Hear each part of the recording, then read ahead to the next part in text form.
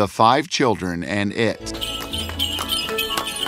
Five children traveled across the country, for the first time leaving the dusty, arid streets of London behind them, as they breathed the fresh country air, stared at the luscious hills and mountains, the pretty cottages dotted with flowered gardens. Their tiny hearts were filled with anticipation and a sense of adventure.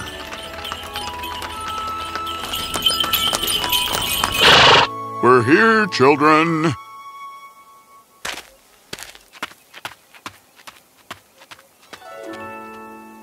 The cottage is so beautiful.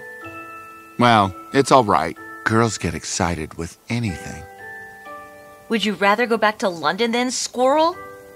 Pooh, now make yourselves useful.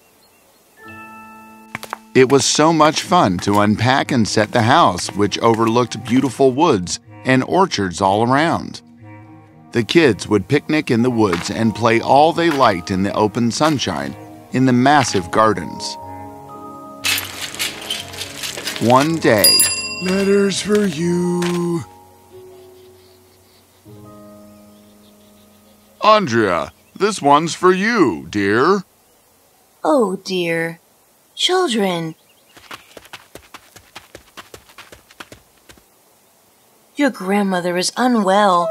I shall have to look after her till she is better. And I need to go out of town for work. Well, both of us are going? We'll be all right, Mother. And Martha and the cook are here, so you needn't worry. So, the mother and father left for a few days.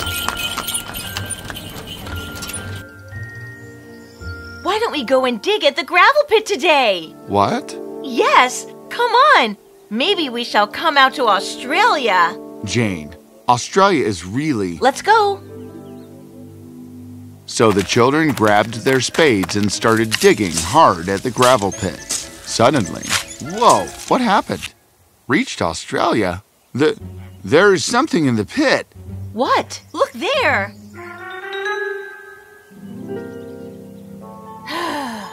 well, found out. What do you want? Who? What are you? Haven't you heard of sand fairies?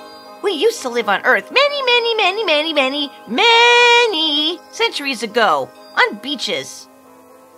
Father had said this place too used to be a beach a long time ago. Look, I don't like the sun and the rain, so if you tell me what you want, I can get on with it. You mean like a wish? How clever. Yes. Warning. Whatever you ask for lasts only till sunset. So. Okay, so make us all as beautiful as day. Fine. That was a really silly. Who are you? If it weren't your voice, Squirrel. Puss? Is that you? And Rabbit? And Panther? We all look so different. As beautiful as day. Look what you've got us into.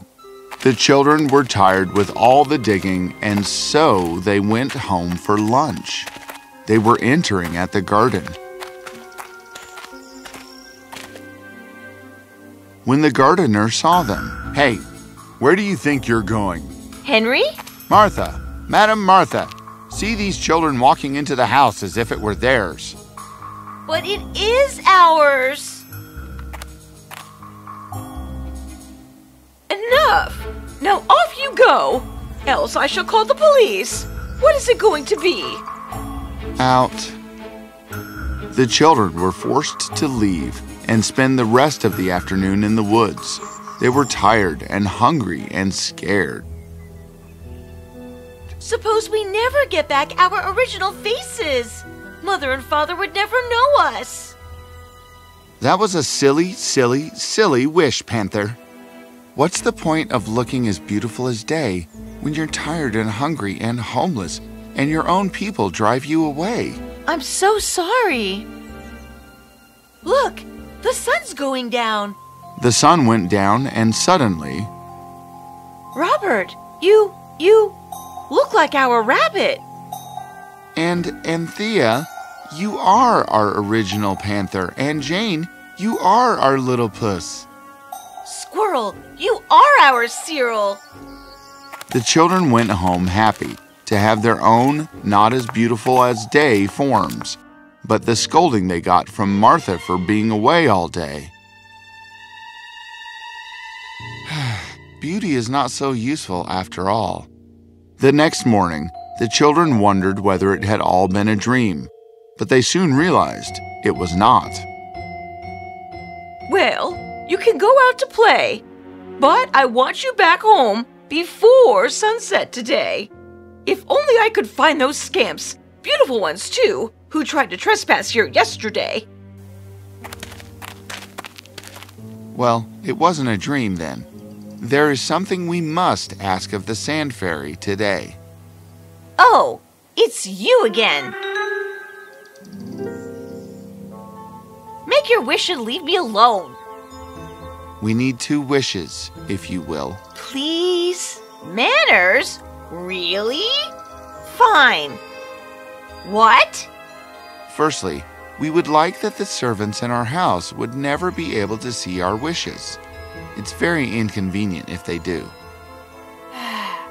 Done.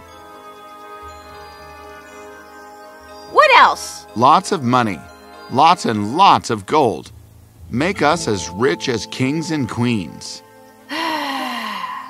Always the same silliness. Move away from the gravel pit.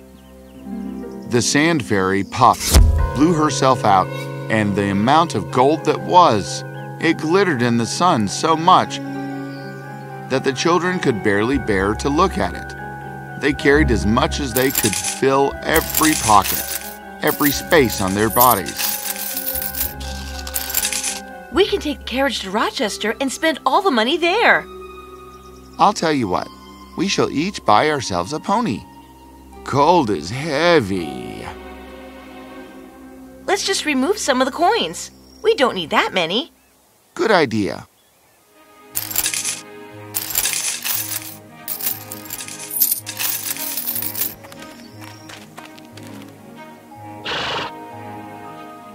Here's where we shall get the carriage.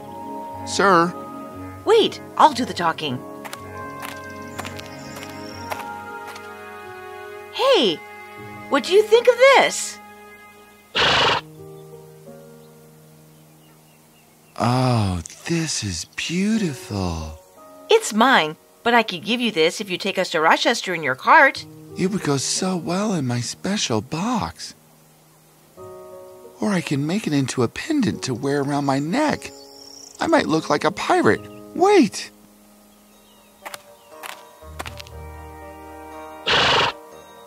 What are they talking about? About taking us to Rochester. Oh, it was, but it was a treat to ride a horse cart all the way to town. Each child harbored dreams of all the things they would get with the money.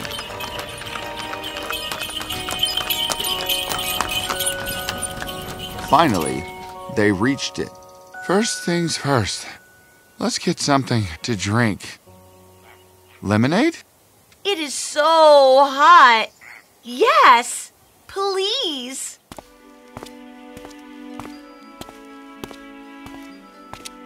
Hello, I need some lemonade.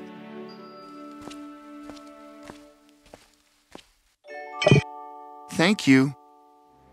Hey, what's this? A genuine guinea. Keep the change. Genuine? Look, son, I have no use for your make believe gold, okay? So hand me some real money. I'm telling you. All right, sure. I had to spend my own money to get it. So much for being millionaires. Well, Anthea and I will try. Look, such pretty dresses. I have always wanted a pink hat. How much for these hats? They are very expensive, young lady. We have the money, see? Where are your parents? They're out, but really, this is genuine gold. Enough. Please leave. I would hate to use force. The children were tired and hungry, but with all the gold that they had, they couldn't buy a thing. Let's just go home. Cyril, you wanted to buy a pony each.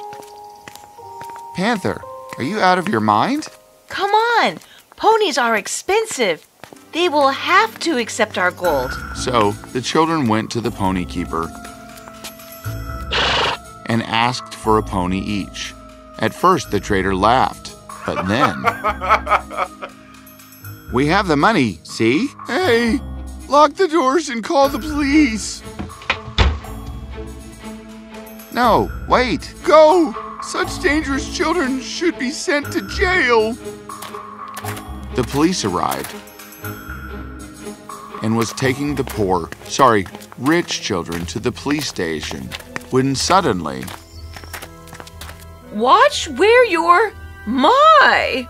What are all of you doing here? Ma'am, you know them? They're thieves. Look at the amount of money they are carrying. What money? Can't you see? What are you talking about? We asked the fairy that our servants should not be able to notice our wishes. That is why Martha cannot see the money. Well, these are perfectly good children from a perfectly respectable family. How dare you accuse them of thievery? Sir, we found all of this with the children. All of what? Sir, the mu- My, where did it go? I'm telling you, sir, it was right here. We're so sorry, ma'am. The children are free to go. What were you thinking? Coming all the way out to town like that?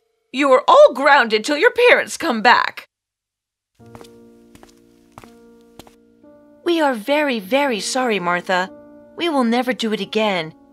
But please, let us go out for an hour tomorrow. Please, let it be the hottest hour of the day to punish us. Well, fine. Go in the morning before the sun comes up high. Thank you, Martha, and thank you for sticking up for us today. What do you want to go out for an hour for? We need to see if the kind carriage boys disappeared after sunset.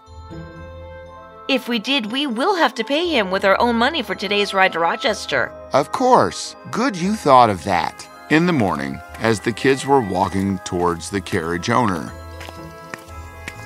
they met the little boy, and yes, he still had the guinea and he was wearing it proudly. I am so glad his guinea is still there. All that gold, and all we could buy was only with our own money. What a waste! Are we ever going to enjoy a wish? Ah, the wishes didn't quite turn out all that great. But maybe the children have to learn to wish for the right things. What do you think?